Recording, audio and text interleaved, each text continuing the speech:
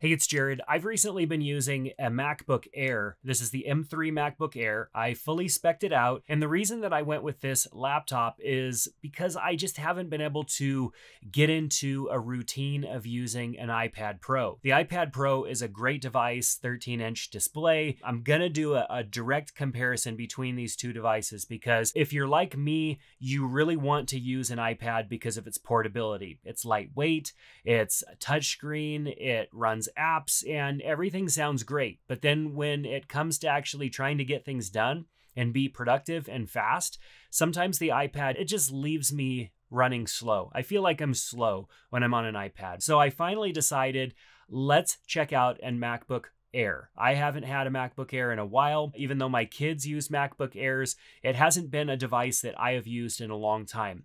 I have lived in a place of it either being a MacBook Pro, so 16 inch MacBook Pro, which is where I do most of my heavy lifting, and that laptop typically is docked to a Apple Studio display, or I try to use an iPad and I tend to bumble along and not be as productive as I would like. Real quick, my YouTube analytics tell me that 97% of you that are watching this video are not subscribed to the channel. So take a minute, hit that subscribe button. It helps the channel, it helps me out. Let's jump back into the video. So with this laptop, the reason that I wanted to give it a try is because it's a 13 inch laptop, it's extremely lightweight, it's portable, and the M3 chip is very fast. Even though it's not a M3 Pro chip or a Max chip, it's very fast. And so I wanted to talk about my experiences with this laptop. I'm going to do a separate video where I compare this laptop and the new M4 iPad Pro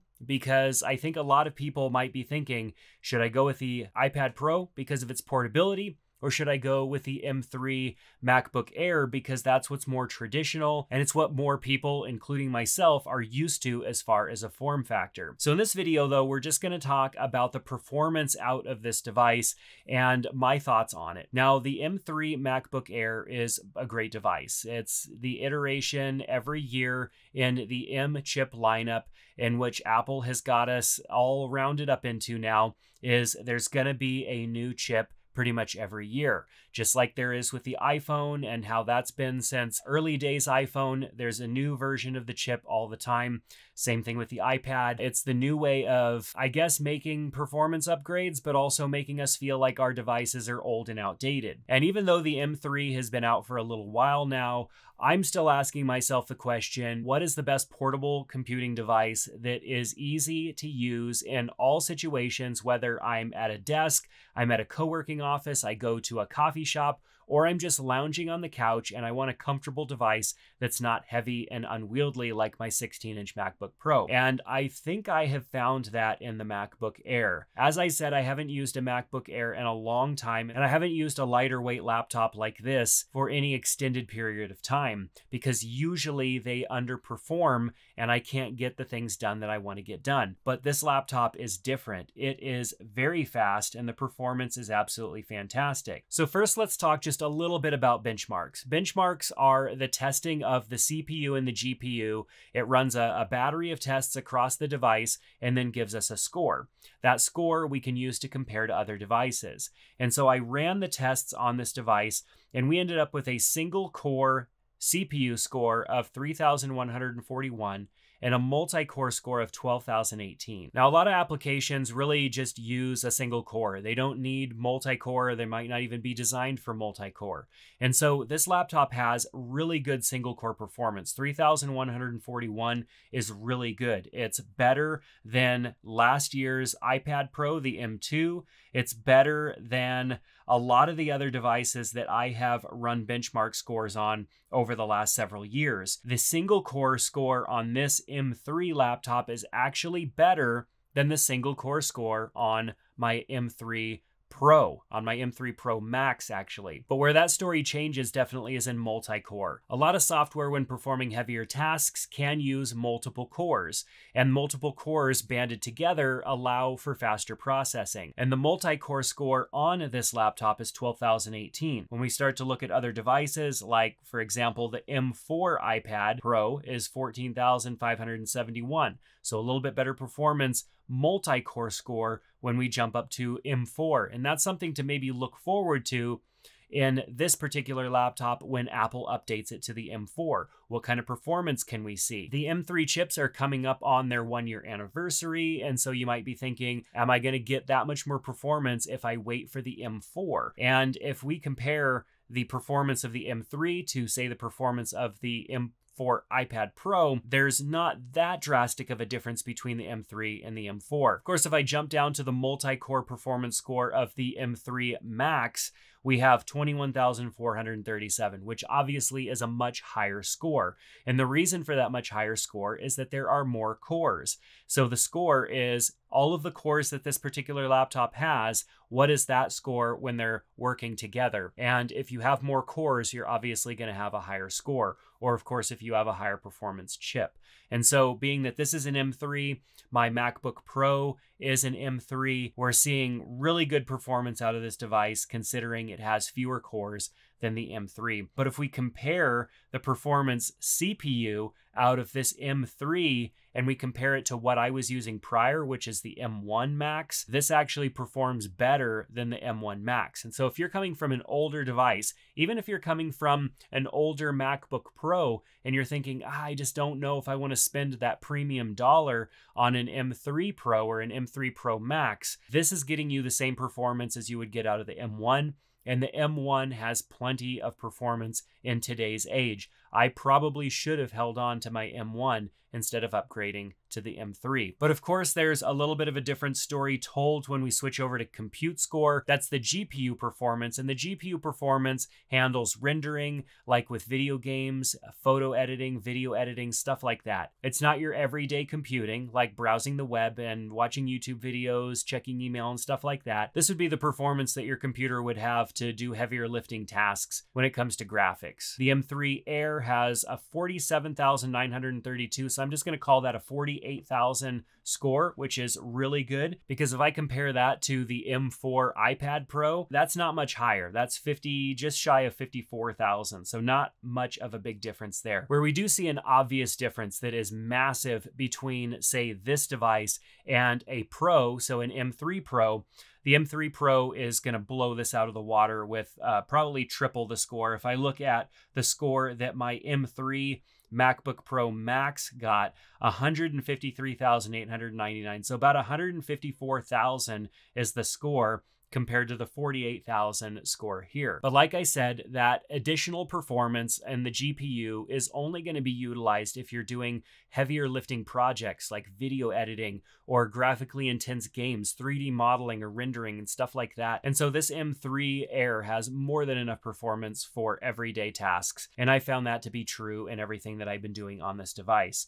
So I do have a browser. I have Brave browser and I have a ton of tabs open, probably about a dozen tabs. I also have Adobe Lightroom opened and I can switch between photos really quickly. Everything loads really fast and the images drop in and render really quickly. With Adobe Lightroom, it gives you a preview of the image and then it gives you the high resolution image just milliseconds later. It does that so that it can give you the preview of the image quickly so it doesn't seem like it's super laggy but then the image has to kind of render and give you the full resolution of the image. And that's one way that I could typically tell if a computer is a bit slower. Lightroom's gotten really good at allowing you to just kind of get through those images really fast. But then when it comes to stopping and letting it show you the fully rendered image, the high resolution image, sometimes that can lag a bit. And that's an indicator of a, a, computer that either performs really well or performs slowly. And I'm not noticing much of a difference at all here on this device compared to my M3 Pro Max. And that's a big deal to say that this isn't really any slower, noticeably slower for me. Now, of course, where I did notice this device being a little bit slower is when I would render out larger batches of photos. So I'd render out, say, 150 photos. Yeah, that's going to take a little bit longer because it doesn't have the GPU performance that a Pro does. But when it comes to doing everything else in the software, as far as making edits, jumping around the software, things that probably lean more on the CPU, I'm seeing fantastic performance and no issues there.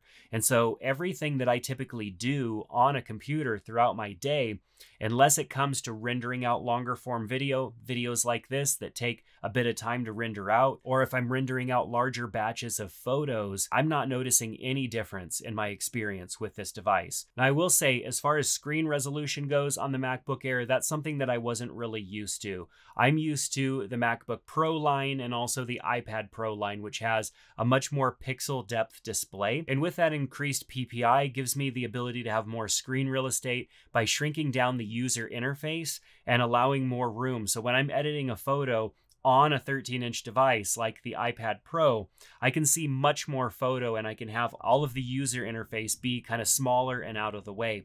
And so it took me a little bit of getting used to. Instead of having applications open far enough so I could still see Stage Manager, I, I have to have applications open almost full screen here.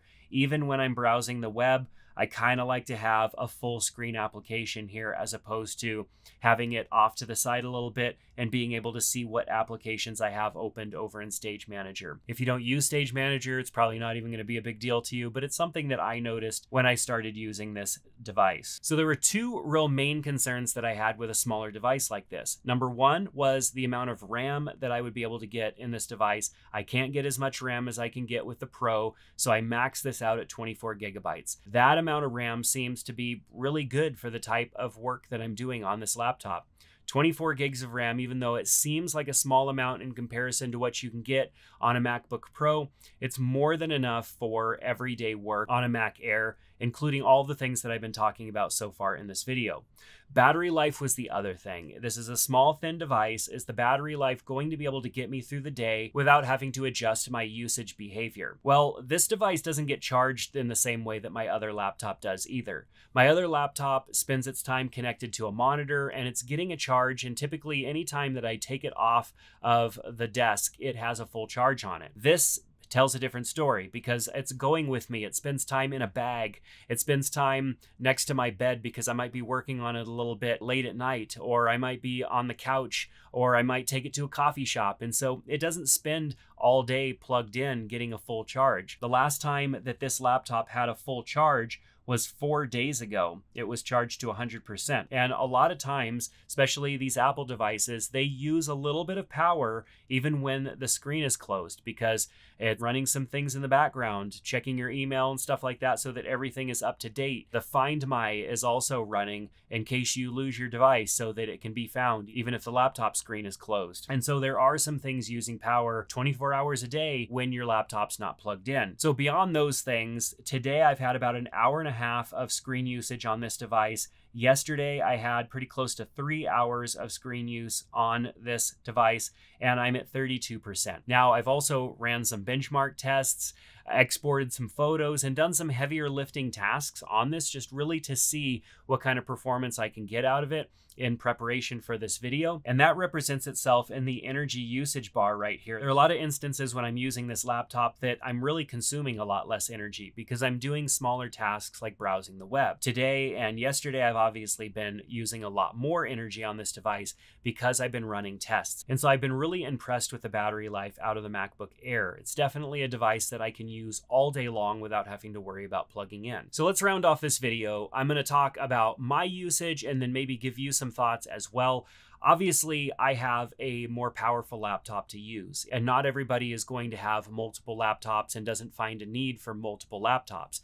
You're probably wanting a laptop that is going to do it all for you, and I think the MacBook Air is absolutely that laptop. Even though the M3 chip will soon be replaced with the M4, the amount of performance that this laptop has is going to stand the test of time for at least five years. Macs are built that way. They're built to perform for multiple years, not only with the battery, not only with the performance of the device itself, but also with the durability of the device. I use my laptops like crazy. They are used all day long, they are used hard, and they last. And then when I sell a laptop to somebody, they end up using it for three or four years after that, and it lasts them a long time as well. Macs are built to last. And so I believe that the M3 Air is a laptop that is a great buy right now, not only because the price is good on this device, even if you decide to choose a higher spec version with a little bit more performance or maybe even a little bit more RAM or storage, the pricing is still pretty great if you compare that to another device. Now, later on this month, I will be comparing this to the new Surface laptop that has new chip technology in it as well, and I'll be back to report my findings there. And of course, I'll also be comparing this to the iPad as well. I really want to see